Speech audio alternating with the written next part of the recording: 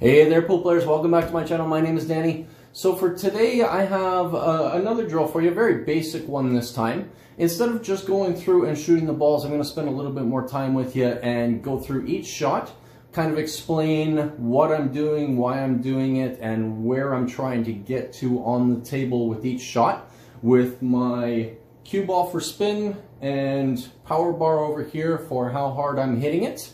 And uh, it's a bit of a cross table with a blocking five ball in the middle. So we just got to go one, two, three, four, back and forth, table side to side, and avoid that five ball that uh, sits in the middle of the table there.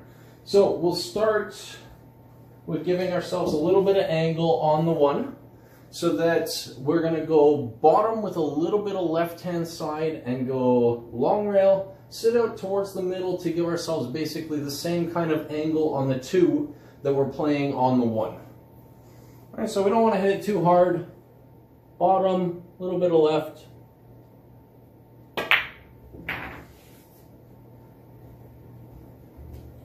There we go. So same kind of angle here that we had from the one ball to the two.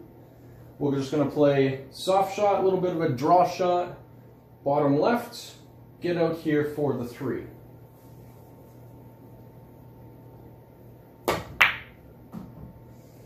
All right, so now we've got natural angle on the three. That's gonna take us down to the bottom rail. So it's just gonna be nothing special. It's just straight top spin, come off of the bottom rail, get back up towards the middle of the table.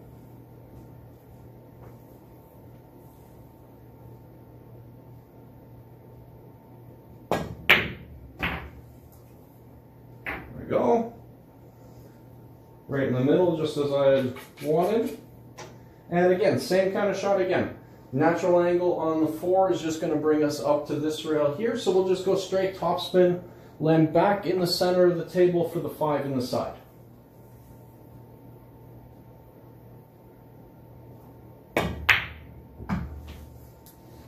There we go, two rails, land nicely on the five, easy shot. There we go. So pretty simple drill, but definitely good for the uh, lower handicaps out there, people that are starting to learn how to control the cue ball and use spin and speed off of rails to avoid blocking balls in the middle. So, I uh, hope you enjoyed the video, guys. Any questions, leave them down in the comments.